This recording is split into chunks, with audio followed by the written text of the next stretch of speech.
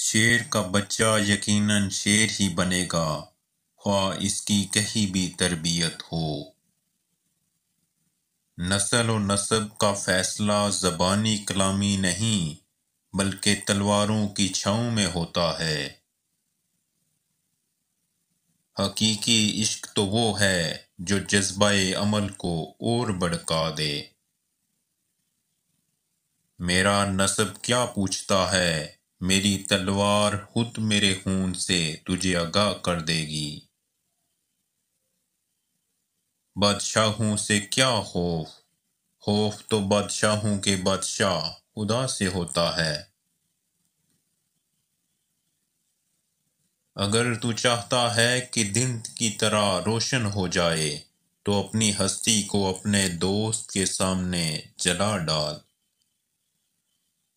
शम्मा बनने के दावा से परवाना बन जाना ज़्यादा बासे इफ्तार है। वसवसे की रुई कान से बाहर निकाल, ताकि तेरे कानों में आसमानी आवाज़ें आने लगें। जिसके फाल शैतान और दरिंदों जैसे होते हैं, करीम लोगों के मतलब इसको बदगुमानी होती है। खुदा ताला के लिए खिदमत कर। हलकत के दर से तुझको कुछ नहीं मिलेगा। जब तू कोई गम देखे तो अस्तगफार कर। गम खालिक के हुक्म से आता है तो अपने काम में लगा रहे। कुछ ना कुछ ऐब सब में होते हैं फ़र्क ये है कि अक्लमंद अपने ऐब खुद महसूस कर लेता है। दुनिया नहीं महसूस करती। बेवकूफ़ अपने ऐब खुद नहीं महसूस करता। दुनिया महसूस करती है। जो मेहरबानी करने वाले को कमीना समझता है, उससे ज़्यादा कमीना कोई दूसरा नहीं।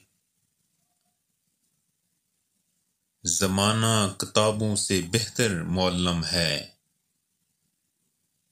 जो बात किसी को देने में है, वो लेने में नहीं। अल्लाह के नाफरमान का अंजाम बहुत खौफनाक है। गुनाह इस कदर कम कर कि इनकी अकूबत की ताब ला सके। जब गुस्सा तुझ पर गलबा पाए तो खामोशी इख्तियार कर। अपने थोड़े को दूसरों के ज़्यादा से बेहतर जान। ऐसे फ़ायदे से दरगुजर कर, जो दूसरों के नुकसान का बायस हो।